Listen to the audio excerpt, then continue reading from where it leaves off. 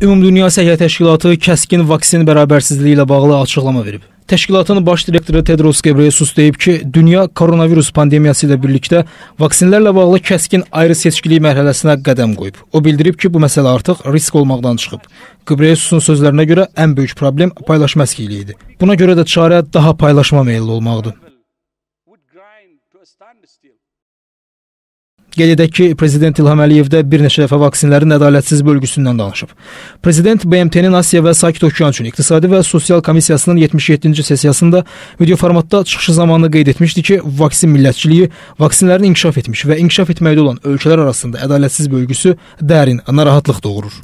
Azərbaycan pandemiyaya qarşı qlobal fəaliyyətin səfərbər edilməsi səylərinin önündə gedir. Azərbaycan Qoşulmama Hərəkatının sədri qismində 2020-ci ilin may ayında Qoşulmama Hərəkatının koronavirusla mübarizəyə həsr edilmiş zirvə toplantısının təşəbbüskarı olmuş və onu uğurla keçirmişdi. Bizim təşəbbüsümüzlə ötən ilin dekabr ayında BMT Baş Assambleyasının dövlət və hökumət başçıları səviyyəsində xüsusi sessiyası keçirilmişdi. Vaksin millətçiliyi, vaksinlərin inkişaf etmiş və inkişaf etməkdə olan ölkələr arasında ədalətsiz bölgüsü bizi dərindən narahat edir. Dünyada mövcud vaksinlərin 53%-i 30-dan çox zəngin dövlət tərəfindən sifariş edilib.